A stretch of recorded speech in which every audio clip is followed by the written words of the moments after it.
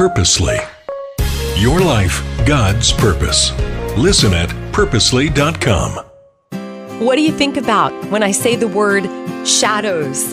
Maybe you think of Peter Pan and his famous shadow. That one was always causing mischief, wasn't it? Or maybe you think about a dark alley and shadowy figures.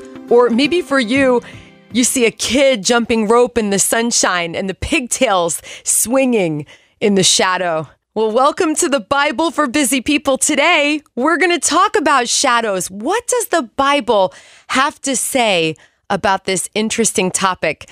I'm Erica, your host, by the way, and this is going to be like a one day walking tour.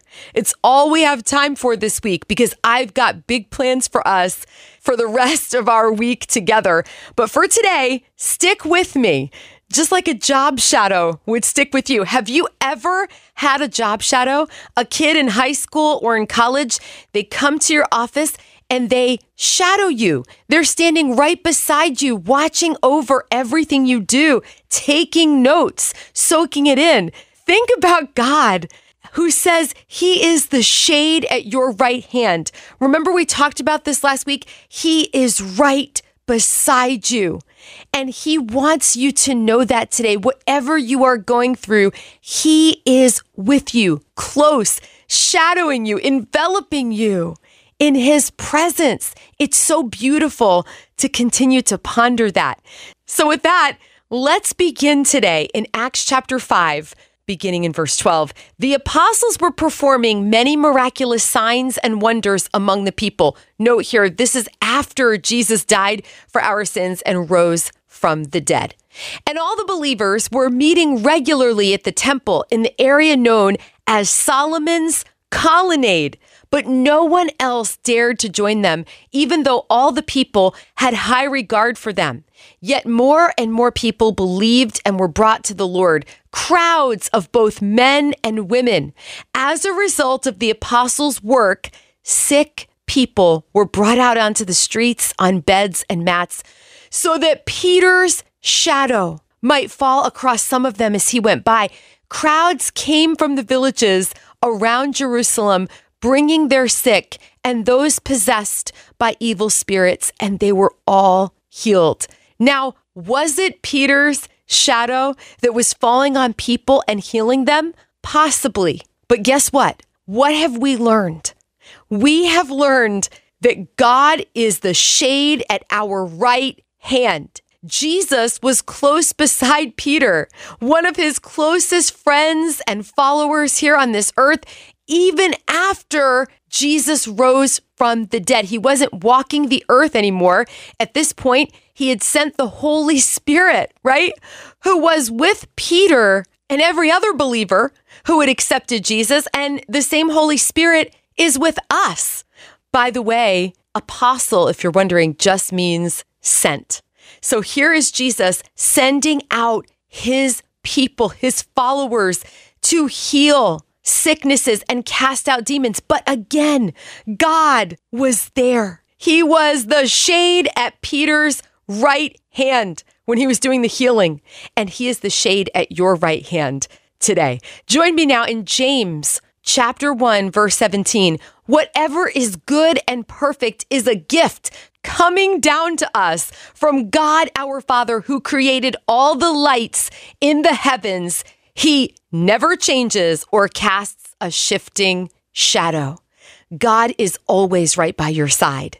And finally, in the comfort category today, I want you to join me in Psalm 23, verse 4. I bet you've heard this before. We're going King James for a hot second here.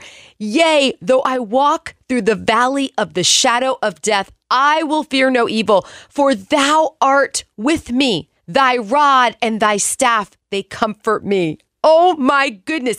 Who is thou? That would be the Lord. Even when you someday walk through the valley of the shadow of death, when your time here on earth has come to a close, even then, the Lord Himself will be with you, the shade at your right hand.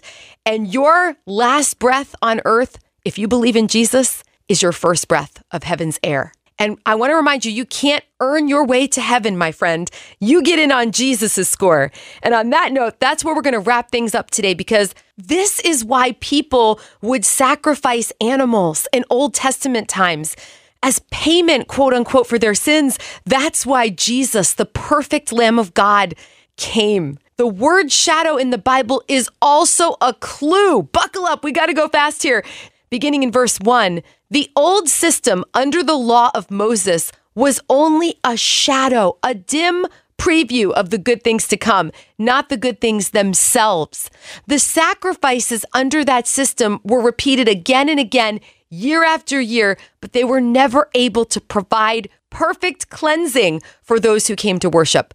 If they could have provided perfect cleansing, the sacrifices would have stopped, for the worshipers would have been purified once for all time, and their feelings of guilt would have disappeared.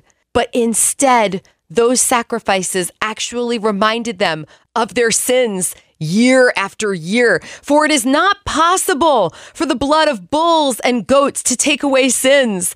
That is why when Christ came into the world, he said to God, You did not want animal sacrifices or sin offerings, but you have given me a body to offer.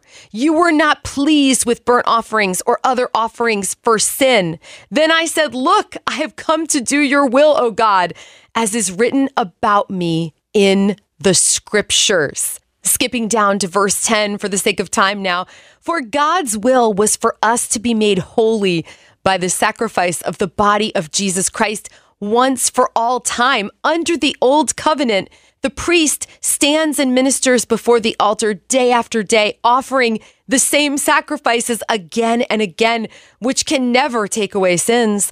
But our high priest offered himself to God as a single sacrifice for sins good for all time. Skipping down now to verse 14 For by that one offering, he forever made perfect those who are being made holy.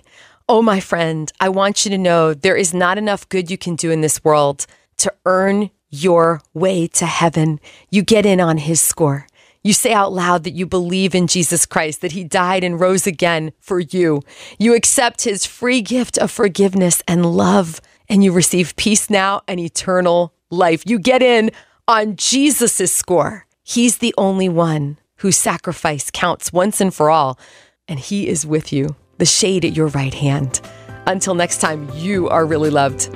Thank you for making time for the Bible for Busy People today. If being part of this community is a blessing to you, it's super easy to share this podcast with someone you love. We're all about spreading the hope of Jesus like butter. So if you've got a moment to write a review, boy, we'd really appreciate that. Maybe you need a little prayer today, or you're ready to take that next step with God. I invite you to check out our show notes. You're going to find lots of encouragement there. This podcast is one branch on a tree called called Purposely, a podcast network designed with practical podcasts to help you find and thrive in God's purpose for your life. If you've got a pulse, you've got a purpose.